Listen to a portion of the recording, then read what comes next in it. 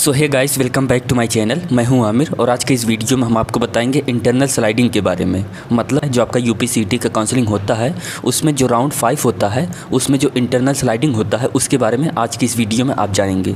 तो चलिए शुरू करते हैं। तो देखिए, सबसे पहले तो हम आपको बताते हैं कि इंटरनल स्लाइडिंग होता क्या है, उसमें आपको करना क्या पड़ता है, और उसके बाद हम आपको बताएँगे कि दो हज़ार इक्कीस में इंटरनल स्लाइडिंग कब होगी, आप उसको कैसे करेंगे। तो देखिए, जो आपका इंटरनल स्लाइडिंग होता है ना तो उसमें क्या होता है कि मान लीजिए कि आपको कोई एक कॉलेज मिल चुका है। आपको कॉलेज पसंद है, लेकिन जो आपका कोर्स है, उसमें जो आपका ब्रांच है, वो आपको नहीं पसंद है और आप उस ब्रांच को चेंज करना चाहते हैं तो उसी के लिए आपका इंटरनल स्लाइडिंग होता है। क्योंकि ऐसा होता है ना कि काउंसलिंग के बाद बहुत सारी ऐसी सीटें होती हैं, जो कि बची हुई होती हैं।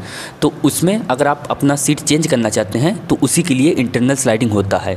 तो इसके लिए क्या करना होता है कि जो भी शेड्यूल में आपको टाइम बताया जाता है, उस टाइम को आपको अपने कॉलेज में जाना होता है और वहाँ पर जो भी प्रोसेस होता है कॉलेज वाले खुद ही आपको बताते हैं, वो सब आप कर लेंगे। वहाँ पे कोई फॉर्म फिल करना रहता है इंटरनल स्लाइडिंग में उसी ब्रांच में आप एडमिशन ले सकते हैं, जिसको आपने चॉइस फिलिंग के टाइम पे डाला हुआ था। मतलब ऐसा नहीं है कि चॉइस फिलिंग के टाइम पे आपने कोई डाला था और इंटरनल स्लाइडिंग में आप कोई दूसरा ब्रांच चूज़ कर रहे हैं। ऐसा नहीं हो पाएगा। चॉइस फिलिंग के टाइम पे जो जो ब्रांचेस आपने डाले हुए थे इंटरनल स्लाइडिंग के टाइम पे आपके पास ऑप्शन रहेंगे। आप चाहे तो उन ब्रांचेस में जा सकते हैं, उन ब्रांचेस में एडमिशन ले सकते हैं, उन ब्रांचेस को आप इंटरनल स्लाइडिंग में डाल सकते हैं। तो जो आपका 2021 में इंटरनल स्लाइडिंग होगा ना तो जैसा कि आप स्क्रीन पर देख सकते हैं online willingness for internal sliding तो ये आपका स्टार्ट होगा 18 नवंबर 2021 को स्टार्ट होगा। 18 नवंबर 2021 तक ही चलेगा। मतलब सिर्फ़ 18 नवंबर को ही ये प्रोसेस होगा। Allotment for internal sliding in government colleges if seats remain vacant मतलब अगर कोई सीटें बची हुई होंगी तो जो आपका इंटरनल स्लाइडिंग का अलॉटमेंट होगा, वो होगा उन्नीस नवंबर दो हज़ार इक्कीस को। तो इसी तरीके से आपको इंटरनल स्लाइडिंग करनी है। सिंपली आपको क्या काम करना है कि जब भी आपको कॉलेज मिल जाता है फ्रीज ऑप्शन चूज़ कर लीजिए। बीस बारह का पेमेंट कर लीजिए